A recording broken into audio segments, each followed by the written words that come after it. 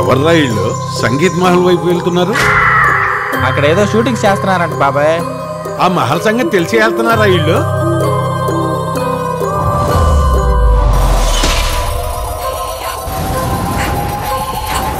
అదేంటంటే నాని? చెప్పు లా సినిమాలో థియేటర్లో కూడా చెప్పలేదు మనం కదా. ఓపెన్ చేస్తే అదో సంగీత మహల్. ఆ ఇంట్లో శాస్త్రి గారికి ఇద్దరు అమ్మాయిలు. వాళ్ళల్లో పెద్ద అమ్మాయి లేచిపోయింది. ట్విస్ట్ ఏంటంటే మా పేరెంట్స్ ఆల్రెడీ చనిపోయారు. కానీ ఇదే ఇంట్లో దెయ్యాలే తిరుగుతున్నారు.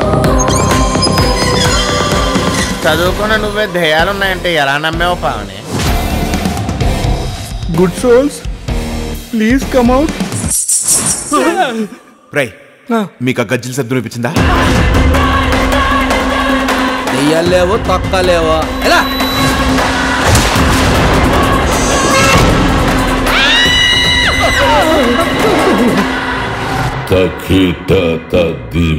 అవతార్ సినిమాలో బ్యాక్గ్రౌండ్ ఆర్టిస్ట్ లాగా అవతారం ఏంట్రా?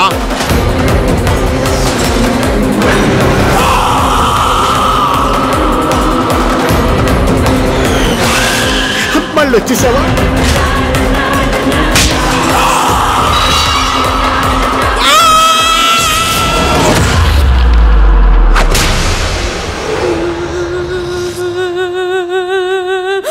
ఏంటమ్మా ఇక్కడ కూర్చున్నావా?